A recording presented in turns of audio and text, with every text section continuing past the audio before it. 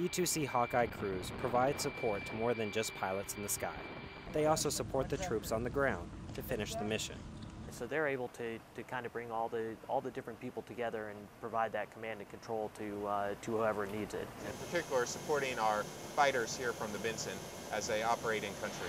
When an F-18 Hornet launches off the flight deck, the VAW-125 Tiger Tail Squadron isn't far behind,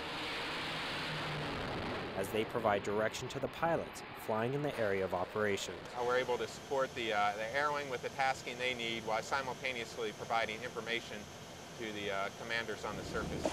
And that information flows from the Marines and soldiers on the ground to the airmen in the Air Force and to the sailors aboard the carriers.